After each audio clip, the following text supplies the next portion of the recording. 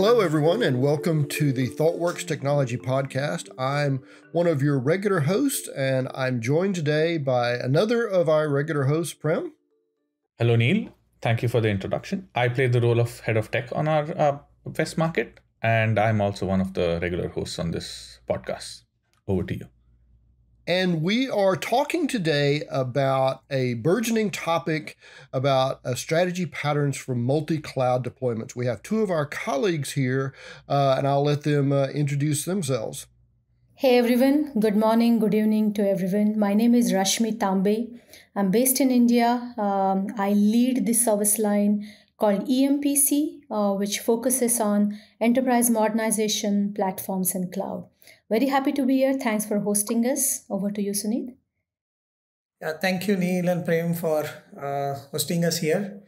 Uh, I pair with Rashmi, leading the enterprise modernization, digital platforms, and cloud service lines in India and service offerings that we offer to our customers.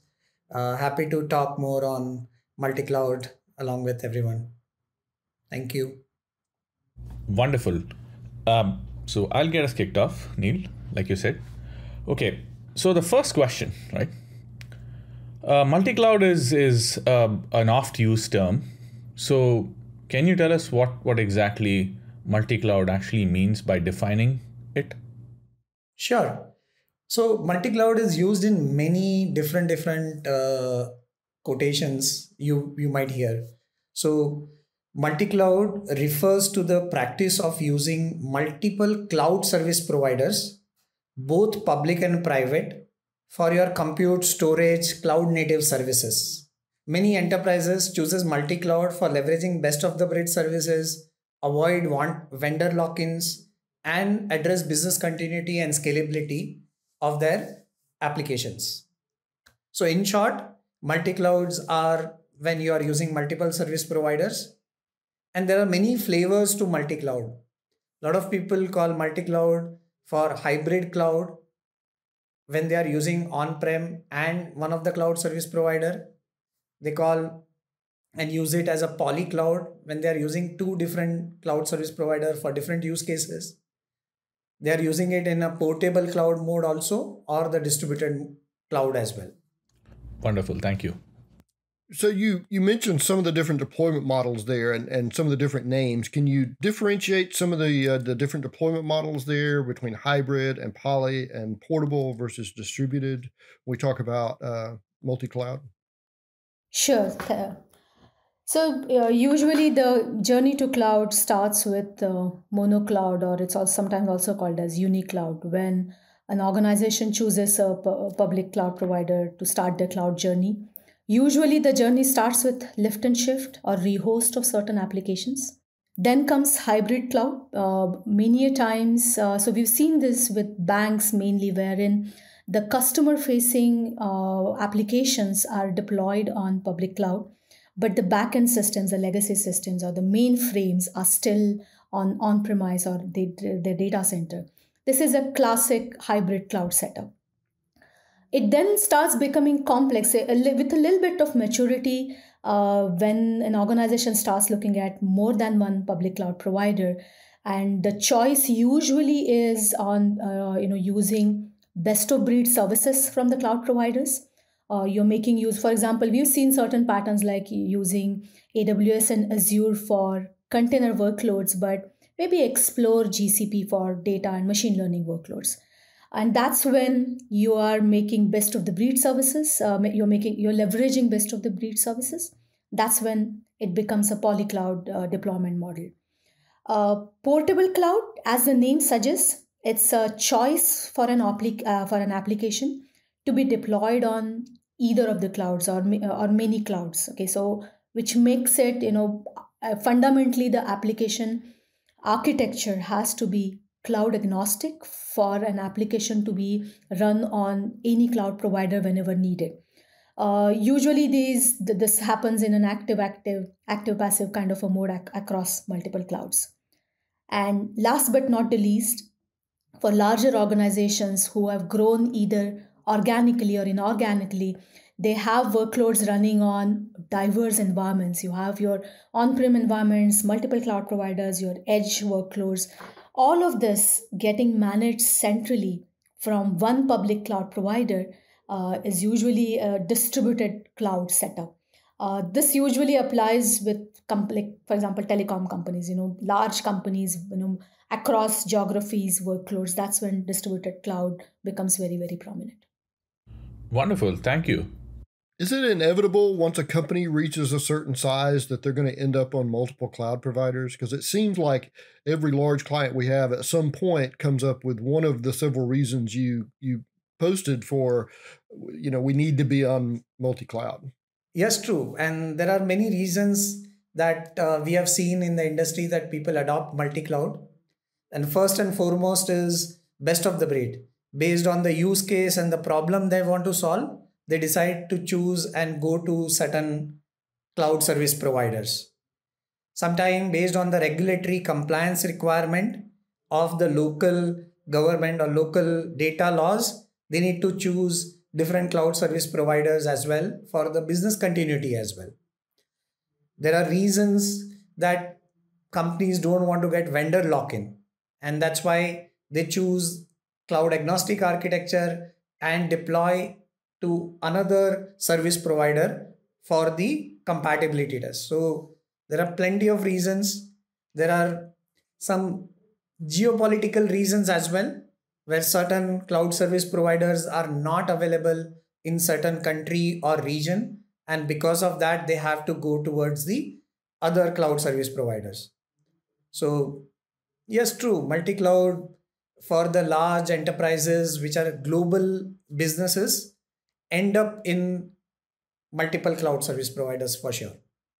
Um, just to add to Sunit's point, um, another reason is the in general inorganic growth of organizations when they keep on acquiring newer companies which are on different cloud providers.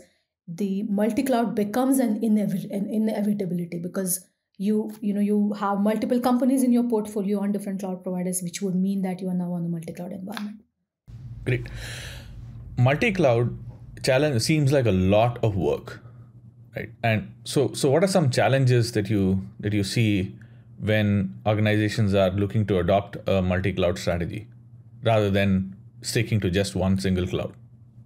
Some of the uh, you know prominent challenges are uh, the cross platform or cross cloud infrastructure automation and having uniformity in it. For example uh, if you're using, let's say, AWS CloudFormation with AWS, and uh, if you're using Google Deployment Manager with GCP, and now you have a simple policy, for example, a dev machine cannot exceed a certain size. Okay.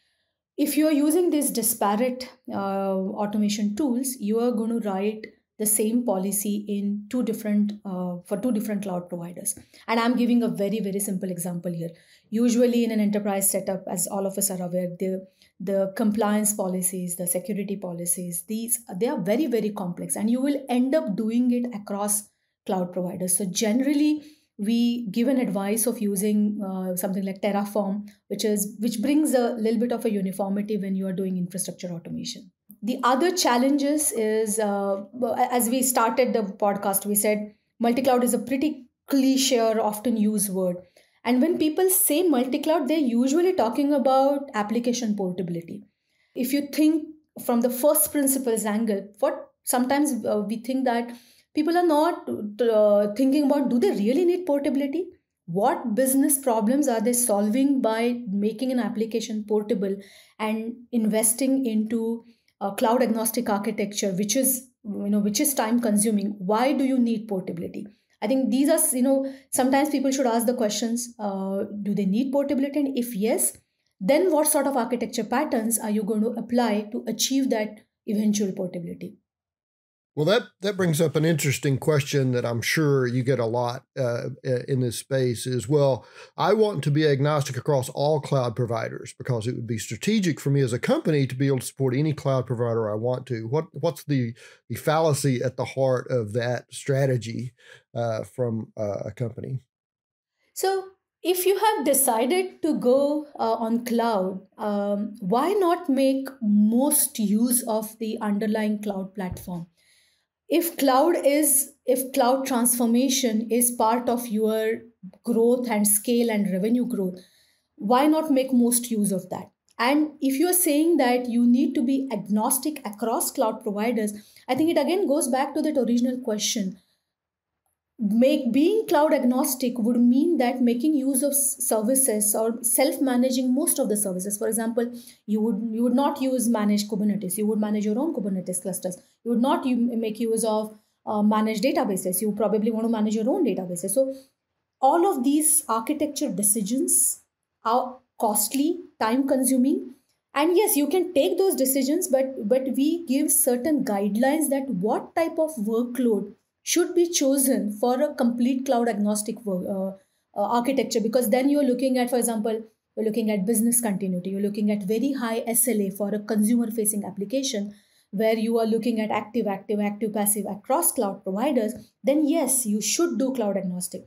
But in general, a very blanket statement that, hey, we want to be cloud agnostic at a company level, I think people should do a double click and what actually it means in terms of architecture efforts and timeline and budget as well i think that's how some of these um, questions you know should be tackled well I, I think it's so my analogy for this I, I think you're exactly right is that so there were there are two models that the industry followed. Followed one was the the relational database, the SQL relational database, and the other was J2EE application servers. There is a standard for SQL, an ANSI standard, but it's so weak that it's useless without every vendor adding their own proprietary behaviors. And therefore, you get locked into a particular database vendor forever, and they make a lot of money on those things.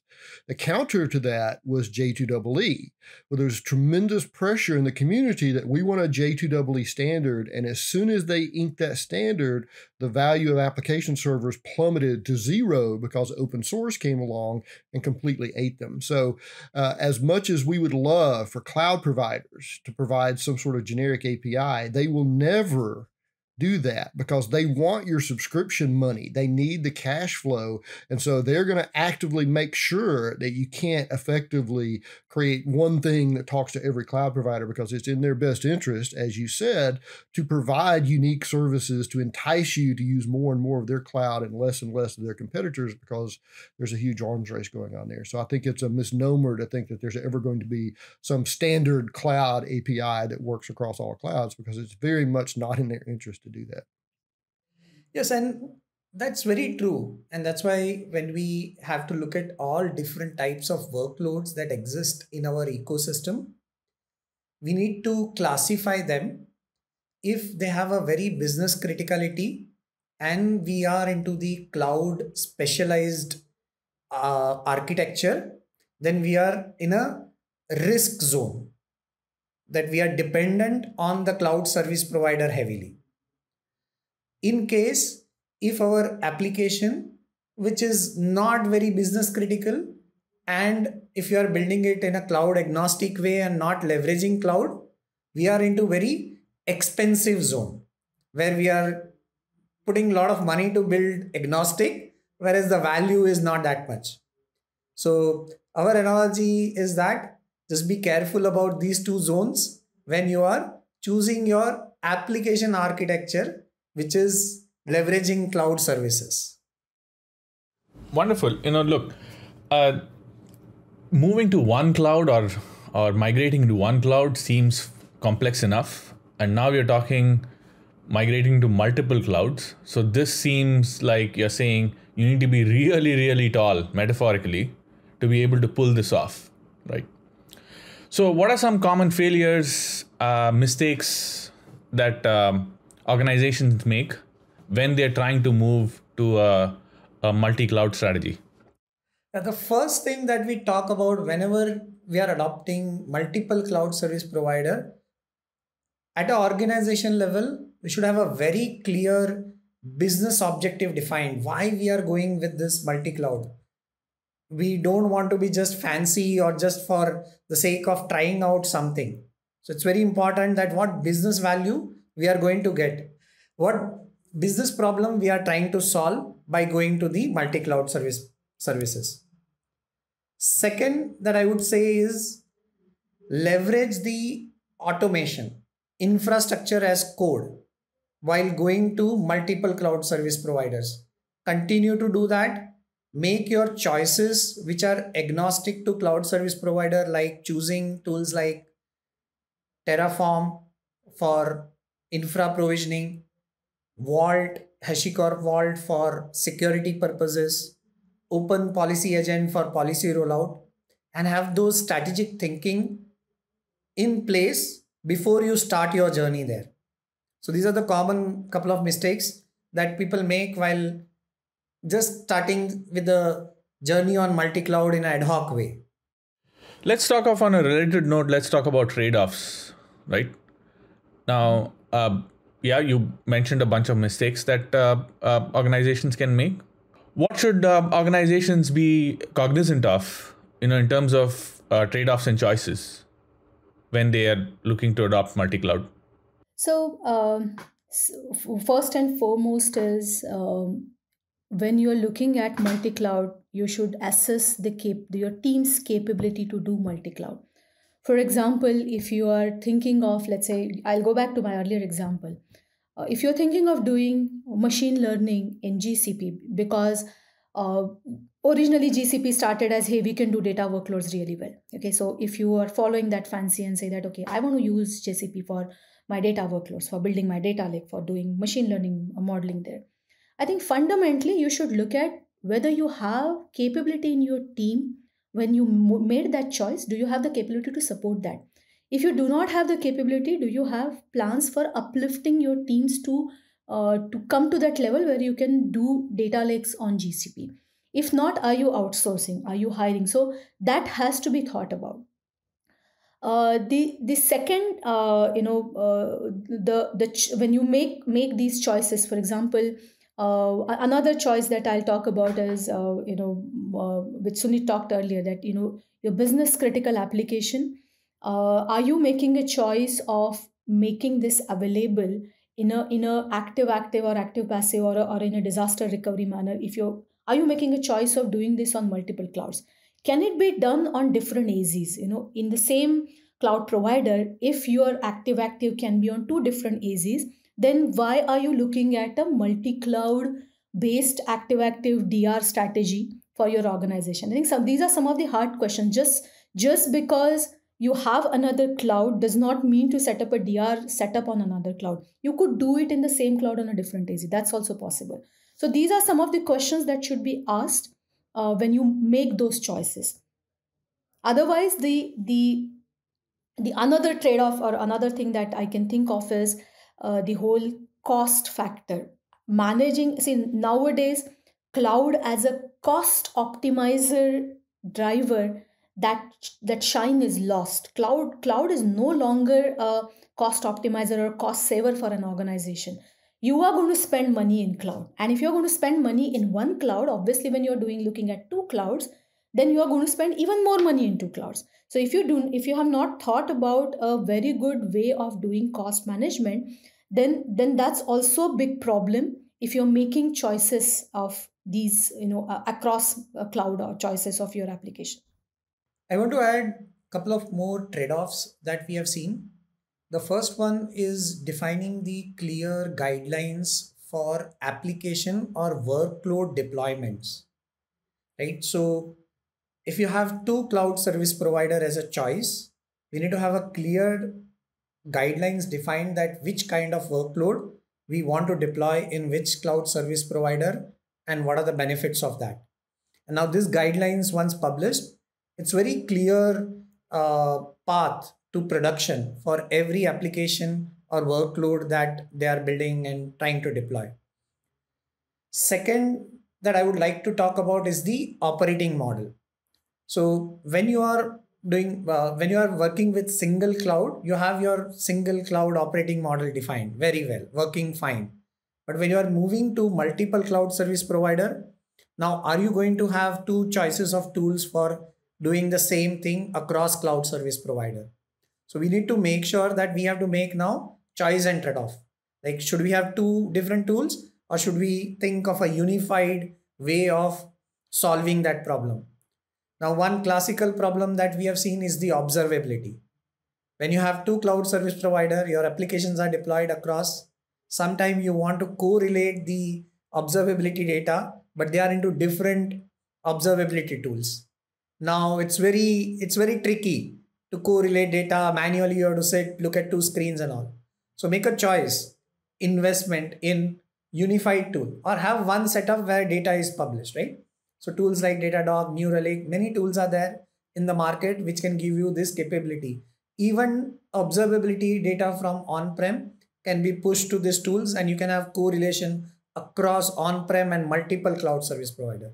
So I would suggest two main things again. Have unified operating model and have trade-off and choices there. And second, have a clear workload deployment policy defined for your organization. Well, and I think what you're getting at there is intent. I, I see a lot of organizations just sort of uh, letting their cloud strategy grow like a weed rather than, you know, building a garden out of it. And then you get into big trouble. It's amazing how fast you get into big trouble with, uh, you know, ad hoc deployments and 16 different ways to do so, stuff. But I want to touch on something uh, that both of you mentioned in that answer, uh, which is, first of all, cost uh, a lot of organizations still seem to think that it's cheaper to move the cloud, and it almost never is. Uh, it's strategic, uh, and there are reasons to do that, but cost savings is not one of them. Uh, uh, in, in almost any case. But you were mentioning observability. I want to raise that up one level and talk about the reason you use observability, which is governance that now you're moving your operations to someone else. Now, how do you govern that if you don't own it anymore? So that seems like a big topic area in multi-cloud strategy. Yes, very true. And again, we see that similar analogy that we have applied in our cloud adoption and cloud journey for a single cloud, we have to amplify it for the multi-cloud. And that's the trick here whenever we are dealing with the multi-cloud. So we apply five lenses to our cloud governance. First is the cloud cost management. Now, if you are dealing with cloud, cost management is going to bite you heavily if you are dealing with multiple cloud. Second, how you are going to manage your access across different tools, different applications across cloud. So you have to get your identity and access management right and govern then govern that very well we have to apply our compliance policies and securities uniformly across the cloud and we need to have a good governance there that is your third lens of governance. Fourth lens is to have better resource provisioning and deployment. If we are doing different ways of provisioning resource across two cloud providers we are going to end up in a chaos there again. And the fifth one is around data. Who has access to what kind of data, including observability logs, access is important here. So apply your governance across these five lenses with following three key principles. First, make your all the governance related information visible on dashboard and have metrics around that. Once you have visibility and dashboard built, it is easy to put automated governance with fitness functions, alerts on top of that. And third stage is to shift left this governance earlier in your software development lifecycle. So you can monitor them early rather than very late in the game. So apply five lenses and three guiding principles to approach your governance. So sounds like uh, you're suggesting that there needs to be this this abstraction layer or an experience layer between the organization and these cloud providers. Did I get that wrong? Or or are you suggesting something else?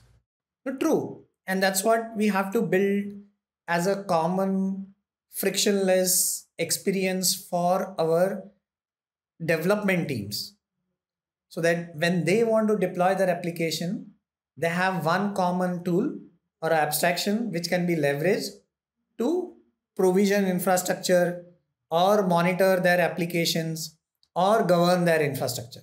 So just to add to that, uh, Prem, when you say uh, common uh, infrastructure, I think um, uh, it can be easily see, seen as we are uh, throwing yet another tech to solve the problems created by tech. Okay, so two cloud providers coming together, creating problem, and then we are throwing more tech to solve that problem. Okay, that's job security, right? yeah, true.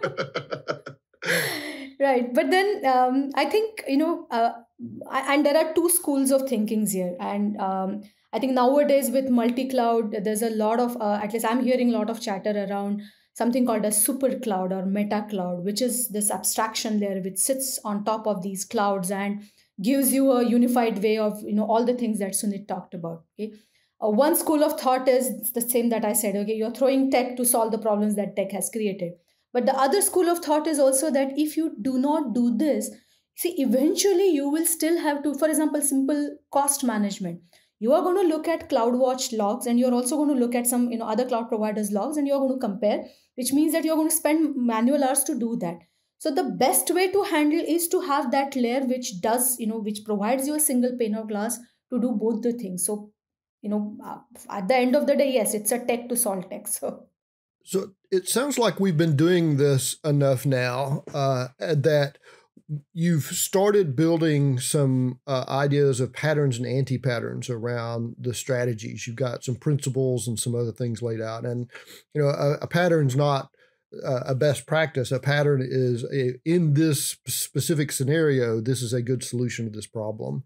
And so, uh, can you talk a little bit about some of the the emerging patterns that you've seen in this space? You've already been touching on a lot of those, but also anytime there are patterns, there are also anti patterns. So, uh, do you see any of those commonly starting to pop up in uh, particular contexts?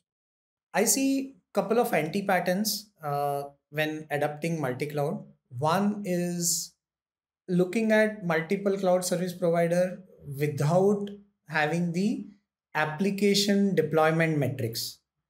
People go with the business unit, one business unit using AWS, one business unit using GCP within the organization, rather than choosing one cloud service provider for one purpose, leveraging it with the maximum potential, and having that consistency across the organization.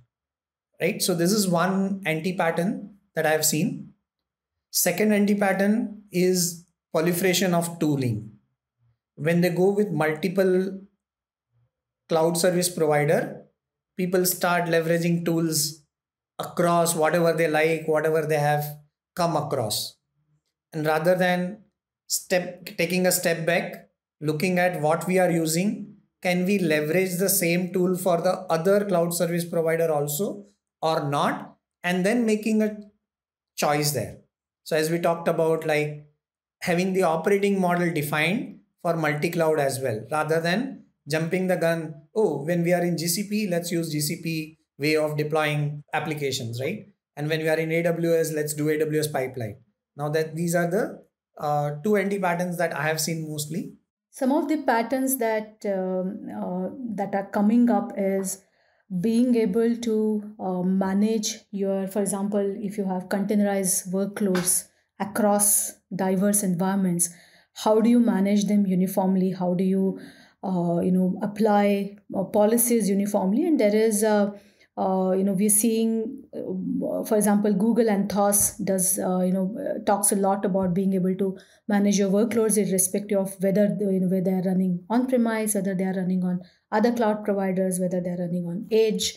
So there is a, increased uh, chatter around how do you do um, how do you manage your container workloads across cloud providers using some of these tools? Like there's also rancher there is kubler uh, I think IBM Satellite also claims to do uh, you know cross cloud management. So that's one uh, uh could be one emerging pattern. Um, the other thing you know which we already touched upon uh, briefly the portability part. Uh, we've seen certain customers you know they they would come and approach us and say that hey why don't you talk tell us how to do multi cloud and in the first discussion uh, and these are like customers who are on premise and they would tell you that hey uh, we, i want to do I, I, want to make my application portable between uh, AWS and Azure or Azure on GCP. And one of the things that we, you know, we tell them that, hey, you not even started your cloud journey. So thinking about application portability is probably a third, fourth, fifth step for you. You first need to start about, you know, how and why you are starting your cloud journey, what sort of problems you're solving. If you're looking at two cloud providers, how why you are doing that. Then comes application portability. So I think call it pattern or anti-pattern I think uh, there is a lot of, uh, you know, again, throwing tech to problems kind of a mentality, which does not really solve your business problem. But just because your contemporaries or some leader in the or disruptor in the industry is talking about multi cloud, people just get fascinated and they're like, hey, I want to make my applications portable. So this is also one of the things, you know, we advise our clients that, hey, you know, let's take a step by step journey. Let's not directly jump there. So, uh, when you have applications deployed across clouds and when these applications need to talk to each other um, either you know the the for example either in an on-demand fashion or sometimes in batch mode there's a there's a need for do data movement. So where your databases are talking to each other your maybe kafka messages messaging architecture is talking to each other. And many a times these these kind of app, uh, architectures become they become overly complex. For example uh, you know i would like to take an example to explain this better. Uh, let's say you have a taxi aggregator company. You use that in singapore you go to us the, the user goes to us the user's data from the singapore shard needs to be copied to let's say a shard on us many a times uh, if you are not not doing these kind of proper sharding uh, techniques at a database level uh, you will see a lot of latency in data copying. You may not see your loyalty point when you move around, or there is a lag in the notification. So, eventually, there will be a consistency, but there will be the latency. And at an architecture level, you will have to be flexible and you will have to uh, you know define what are those matrices that i'm going to track very closely and what are those numbers. For example if it's okay if you have a latency of few minutes. If you're going to live with that kind of a, a number then you know uh, your architecture can become a little bit less complex sometimes this over um, prioritization of hey i need to have everything in sync etc that can make your multi-cloud architecture extremely complex especially when you have multiple applications uh, sharing data with each other so another question uh, these cloud providers are constantly changing and adding new capabilities. And I know they try to maintain backwards compatibility, but sometimes fundamental shifts happen. And a common mistake I see a lot of architects make is they think that once they've got an architecture solved, it's like solving an equation. They can just drop the whiteboard marker and walk away. But software is a constantly changing and evolving thing. So how do you avoid if using multi-cloud providers the constant churn of oh the API for this cloud provider has changed and now this one's changed. So it becomes a game of uh, whack-a-mole. Is there any way to try to avoid some of the impacts of uh, the the rapid evolution of the cloud providers? In today's world, there are tools which can help solve many of these problems like we talked about Terraform, where the actual service provider driver takes care of most of this internal things of service interacting with the AWS or GCP. And we are dealing with the DSL part of it, which helps us to abstract out that API level coding and work on the DSL.